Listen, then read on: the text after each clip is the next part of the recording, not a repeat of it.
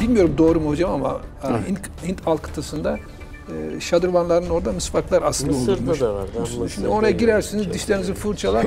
Neymiş bu sünnetmiş.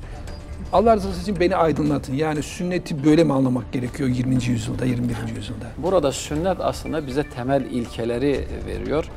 Bizim hayatımıza şekil veren, bizi biz yapan ortak kültürümüzdür. Sünnette şekil önemsiz değildir. Ama sünnet şekilden ibaret de değildir. Akıl çıkmazı bu hafta Profesör Doktor Bünyamin Erul ve Doçent Doktor Abdullah Karahan'la birlikte hadis ve sünneti anlamayı konuşacak. Akıl çıkmazı Doçent Doktor Kemal Ataman'ın sunumuyla Salı akşamı saat 21.30'da TRT Diyanet'te.